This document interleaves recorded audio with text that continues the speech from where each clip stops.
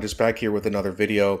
Um, so Brian Lilley just asked a simple question, and I haven't watched this video yet. I do want to react to it with you guys. It's titled "Simple Question: Do you miss Stephen Harper yet?" Now, I haven't actually made any videos about Stephen Harper, and you'd think I would have by now. It just never really crossed my mind to do it with all this, you know, anti-Trudeau talk. But uh, let's get into that in just a second. But before we do, please don't forget to hit the like and subscribe button. It really, really helps grow this channel, and I appreciate every single one of you who does. Also, leave your thoughts in the comment section because I always enjoy uh, reading and engaging with you guys. So uh, let's get into this video here, and then we'll talk about it after, like usual. The Trudeau government came into power in 2015. That's almost nine years ago. It'll be nine years this fall. And they came back into power, the Liberals did, saying they're going to make Canada back. They're bringing Canada back on the international stage. Truth is, we're not well respected on the international stage. That's something we've talked about before. But Stephen Harper was considered an elder statesman of the G7 before he left. He was someone well respected within the G20. During the 2008 2009 financial crisis, Harper his finance minister, Jim Flaherty, Mark Carney, who was then Canada's Bank of Canada governor and working closely with the Harper government. They all led committees of the G20 at rebuilding the global economic system after that. Nobody asks Canada to do those sorts of things now. We are, you know, sitting at the children's table. Now, meanwhile, our policies have taken us in a completely different direction, especially since October 7th. Came across this clip as I was going through uh, some of my files the other day Stephen Harper in 2015 talking about how we would change and how the Liberals and the NDP had a different view. He was talking about his position on Israel, but also Iran. Check it out. You know, my friends, I'm always amazed, and I hope you notice how the Liberals and NDP are always criticizing us for not being friendly enough with Iran, but for being too friendly with Israel. And where are we now after that change? Well, we're no longer, no one is claiming that we're too friendly with Israel, except for the people that want us to fully back Hamas, you know, Melanie Joly style. Uh, but we are too friendly with Iran.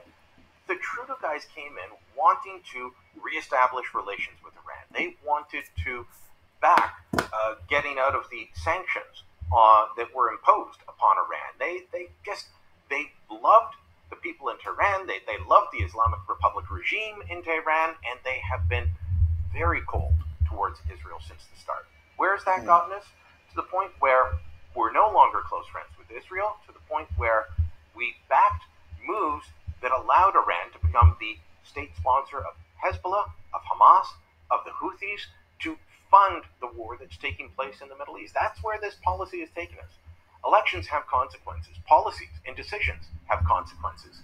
And I'd say that the ones that Trudeau did, the changes that he made back from when Stephen Harper was considered not friendly enough to Iran and too friendly with Israel, I'd say that they were the wrong ones, the bad ones that led us to this place. Let me know what you think.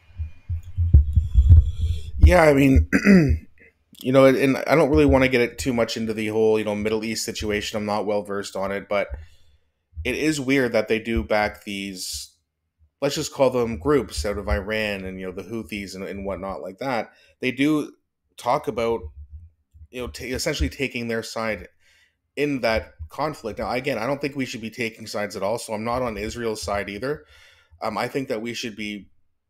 I mean, if you want to morally support, well, even that, even that's weird because this isn't the moral situation that's going on. Both sides I've been pretty guilty of some pretty pretty terrible war crimes. So I think that personally we should back out of this. Uh, we shouldn't be sending any money, any troops, nothing. This we shouldn't even be talking about it really, in my opinion. This has been going on for what 80, 90 years now. Uh, what are we going to do to stop the fighting? I mean, listen, if you want to get involved in some sort of like, like a, a peace broker, a ceasefire, you know, uh, which I do believe we have peace uh, peace negotiators on our team uh, if you want to do that, fine. Um, I don't know if that's going to work, but I mean, this staying out of this whole conflict is is a big part of, you know, this new not new, but it's it's a Canada first movement where we're really tired of seeing our tax dollars go overseas to other countries that aren't named Canada, especially when we have all the crime, all the poverty, and et cetera, et cetera, et cetera.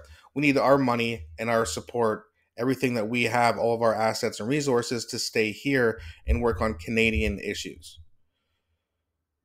And that's really all I'm going to say about that. But let me know what you guys think in the comments.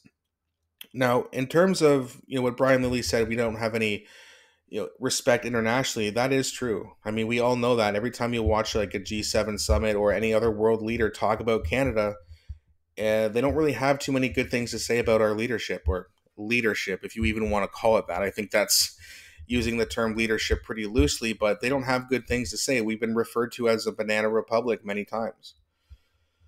Right? So it's but anyway, to answer the question, do I miss Stephen Harper? Well, I do miss low crime and affordable rent. You know what I don't miss though? Bailing out bankers after the 2008 financial crisis, which was which was which was also slightly brought up. Not sure why Brian Lilley didn't mention the fact that it was actually Stephen Harper who bailed out the bankers who committed fraud with our tax money. Right? So we shouldn't be bailing out bankers either. And I understand this oh, it needed to happen it did not need to happen without any consequence. Those people should have been removed and put in jail. You can restore a banking system, fine, but don't give it to the same fucking people who ripped people off in the first place. Those people should have went to jail. It was fraud, blatant fraud. If you were and I, if you or I committed that, we'd be in jail. But there's special rules for very powerful people, as it seems. Um, but other than that, other than the financial crisis, of the bailing out the bankers and not really reforming the bank system at all. And you know that the first the, the first chance the bankers have to do the same kind of thing again, they will absolutely do it because they know they're going to get away with it. Reform the banks, but it takes money to do it. Fine, I understand that. But don't just bail them out and say, "Okay, here's your money and we'll leave you alone again." That's bullshit. You can't just let them commit fraud like that. That's that's not acceptable and no one in this country or any other country where this has happened should be okay with that either. But let me know what you guys think in the comments once again. Do you miss Stephen Harper? Do you think things were better nine years ago than they are now? Because I sure as hell do.